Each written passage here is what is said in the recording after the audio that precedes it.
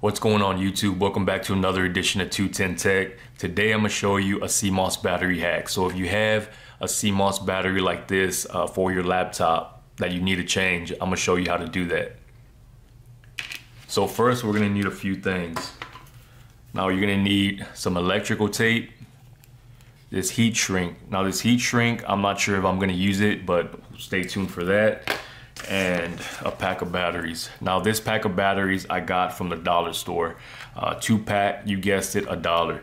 So if you go out and buy one of these, it's gonna run you about eight to 10 bucks. Now I don't mind paying eight to 10 bucks, but I couldn't find what I needed um, off of Amazon. I needed this right away, so we're gonna go ahead and hack this out. So the first thing we're gonna do here is cut this battery open.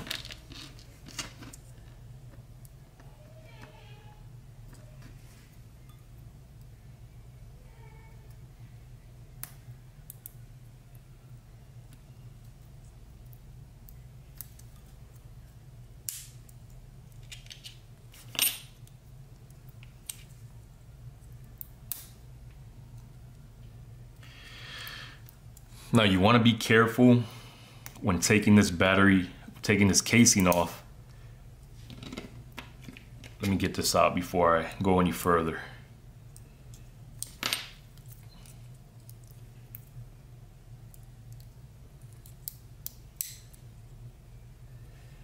See right here, this is a conduit tape or conductive tape. We're gonna use this same tape for um, the new battery. So be careful and not to kind of gunk this up or destroy this when you're uh, coming in with your blade trying to uh, get off this uh, all this plastic here.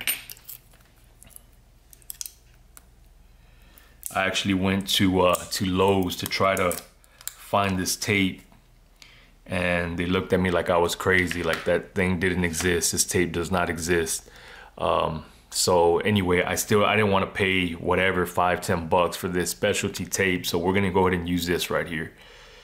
So red positive, black negative.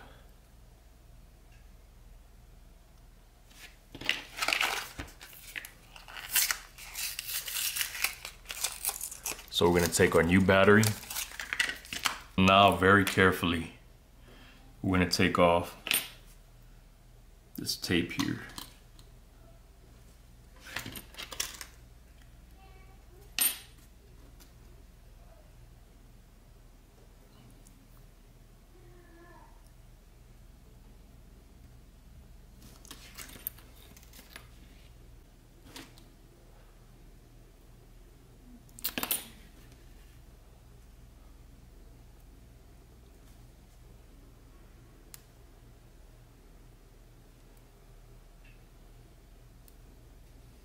All right, so I got the wiring off. That's how that looks there. See if I can get a better angle of that. See, this one came out good and this one kind of broke off a little bit, but still usable. So red is positive, black is negative. So we're gonna take our piece of um, electrical tape here we're going to put that on. And we're going to start with our positive here. See if I can get in there a little bit. It's kind of hard to see where I'm at, but just throw that positive on there. And on the opposite side, just throw that negative.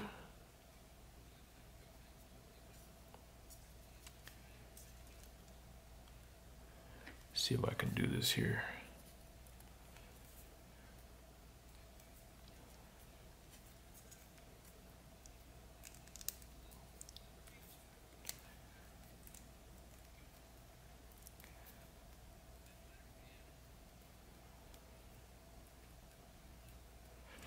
Now I'm gonna throw another little piece of um,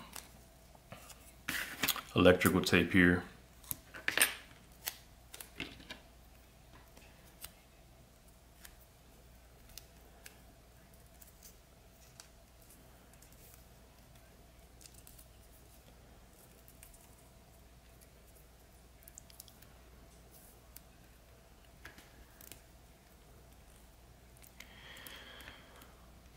And that's gonna be pretty much it. I was gonna throw this heat shrink, but it, it's too small, so it won't go over it. So what I am gonna do is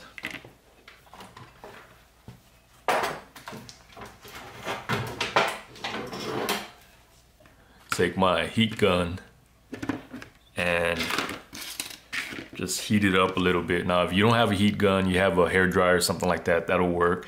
Or you can just leave it as is, but I just want those contacts not to end up coming out.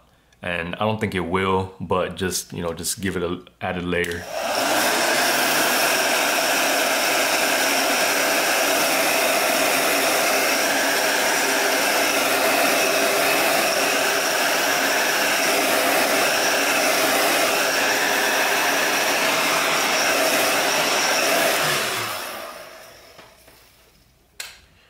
Just like that, you don't you, you don't want to give it too much because you risk burning something in here. So it's just a little bit.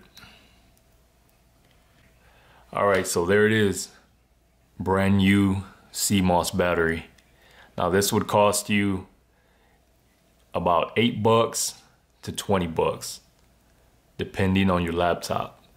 And I bought a two pack for $1. So I hope this helps you out. Thanks for watching Two Ten Tech. Check you on the next one.